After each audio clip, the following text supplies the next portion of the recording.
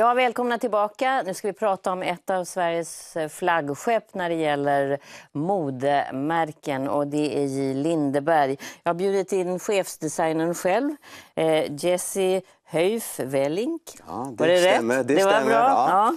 Du är nämligen inte, du är holländare från början. Ja, det stämmer. Precis. Men efter nio år är jag nästan du, svensk. Ja, det är du Precis. absolut.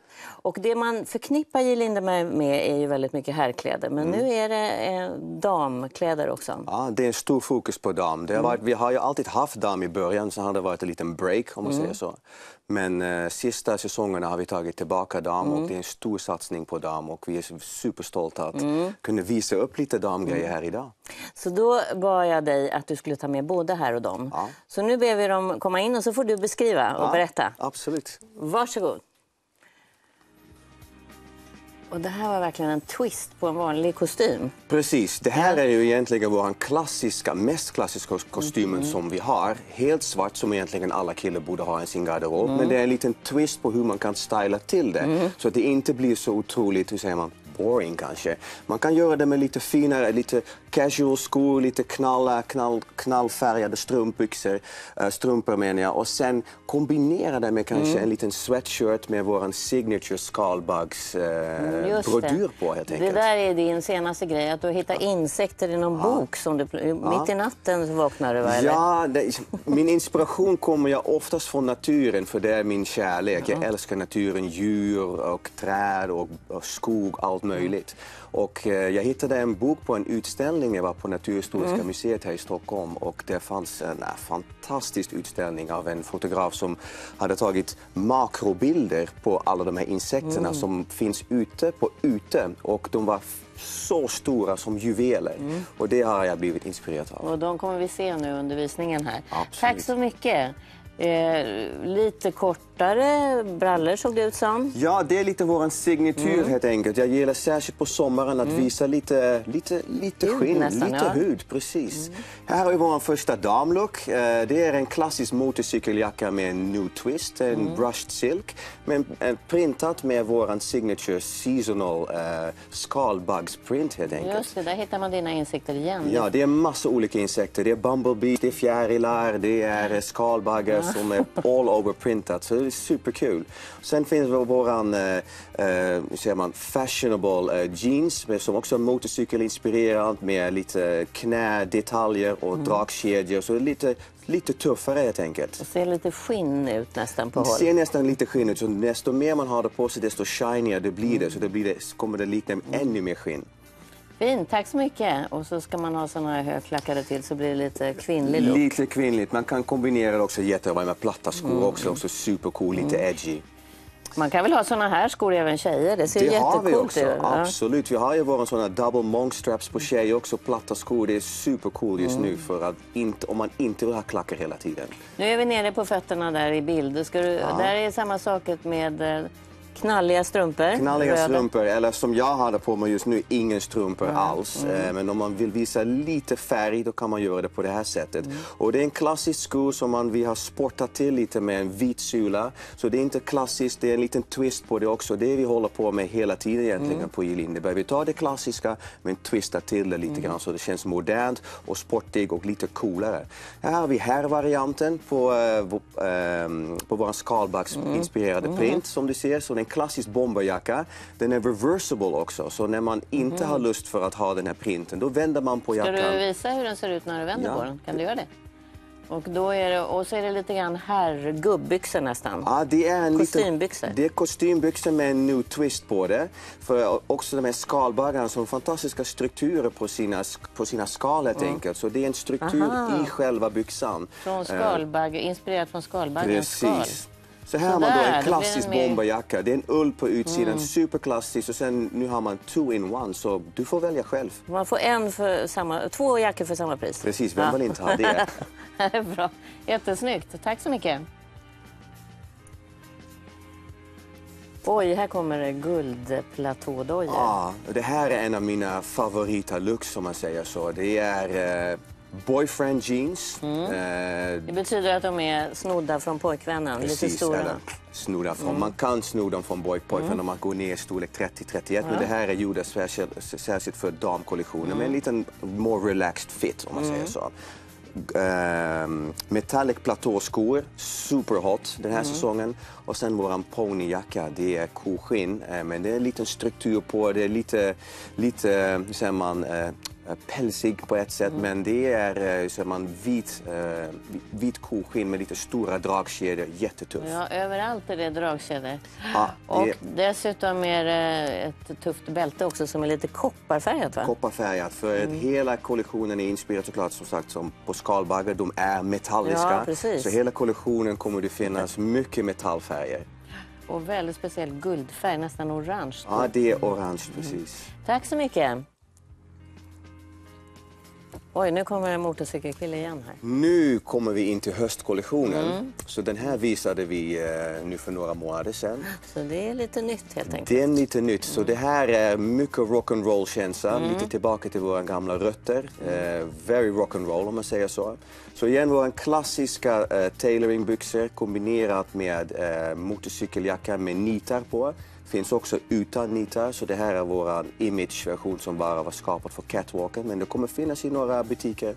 Sen är det väldigt kul när man blandar olika längder tycker jag. Så det har en lite längre kofta under som är grovstickat eh, med en vit skjorta och lite slips. Så det är väldigt fräscht när man kombinerar med en vit skjorta som man är helt svart och är någonting som fräschar till helt enkelt. För det är roligt med de här eh, blandningarna tycker jag, Ja. och göra det på det här sättet. Och det tycker jag också, för annars blir det så stel om man kör bara dressat eller bara casual. Då blir det så flat liksom. När man kombinerar olika stilar, tar lite dressat med lite casual, med lite läder. Sen har man en fantastisk new, eh, fresh, säger man, stil. Och sen glöm inte de här nya pointy shoes med Nej, lite just det, nitar med på. nitar på. För den som vågar.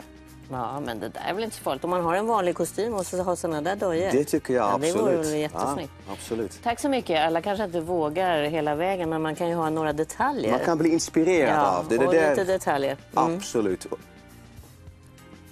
Här är vi tillbaka till det sista, man tror jag, våran look från sommaren. Det här är min absolut mest favorita jacka. Det är en eh, mockajacka med en crocodile-tryck på. Eh, så när man kommer närmare då ser man vilken den här krokodilstrukturen. Är den Ja. grön? Det är jättevacker färg. Det är en Ja. Mm. olivgrön, jättefint. Och sen desto mer man har den på sig, då blir den lite man, shiny. Och sen, Mm. Läder blir så fantastiskt när man, när man Mm. bär det hela tiden. Det blir bara bättre. Och igen med boyfriend jeans, men nu i vit. Eh, Mm. Kort, avklippt, upprullat och igen med de här fantastiska metalliska platåskor. Men Är de bekväma? eh, det får du fråga du får tjejerna. nicka, du har ingen mikrofon. Ja, de nickar, de är bekväma. Ja, tuffa. Det är ju bekvämare än man tror med såna här platåskor eftersom foten kommer upp i ett bättre Precis. läge. Det är bättre än de här stora klackar. Ja, det är precis. lite svårare. Du, tack så mycket. Det, eh, det vi kan prata lite grann om medan nästa modell förbereder sig, det är din otroliga resa. Ja. Eh, I Paris när du var ung så kom du dit bara och slog dig fram. Ja. Utan några pengar alls egentligen. ingenting. Det var fantastiskt. Det var den bästa tiden jag varit med om. Jag var 19 år, precis klar med min eh, hur säger man, studie. Och sen tänkte jag, nej, nu måste jag flytta till Paris och lära mig av de bästa. Så jag fick jobb på eh, Christian Lacroix. Ett av de finaste modehusen. Ja, det var, för mig är han en konstnär. Han målar med tyger. Det var ju fantastiskt. Så jag fick jobb i en av hans coutureateljéer eh, som ju alla de här fantastiska, gjorde alla de här fantastiska aftonklänningar.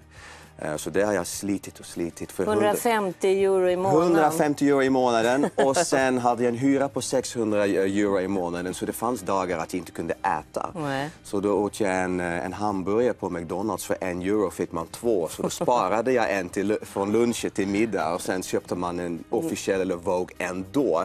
För man vill ju vara så sugen på att titta på allt det som för händer. tidningen var dyrare än maten. Ja, precis. Men man brinner, man, man brinner, man är ung, man brinner så mycket för mode. Men inte många klar, klarar det. Nej, det är en tuff resa. Det är en tuff resa. Nu ska vi se, nu har vi, ska vi se om de kommer tillsammans här? Ja, det var kul. Det vore kul. Ni får komma ihop för det ser ut som ni verkligen är, matchar varandra här. Boyfriend and girlfriend om man säger så. verkligen.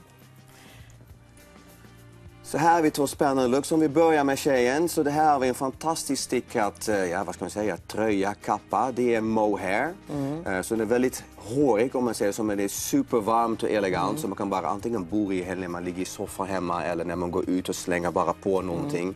Man kan Ser lite Hollywood ut. Lite håll, glamour, det är ju mm. fantastiskt, mm. absolut. Och sen superhot den här eh, hösten är läder på läder. Så när man ser man har läderbyxor med läderskjorta under. Mm. Det är en av de största trenderna eh, som kommer nu kan till hösten. Kan du ta av dig kappan får man se din läderskjorta, det är yes. häftigt. Mm-hmm. Mm.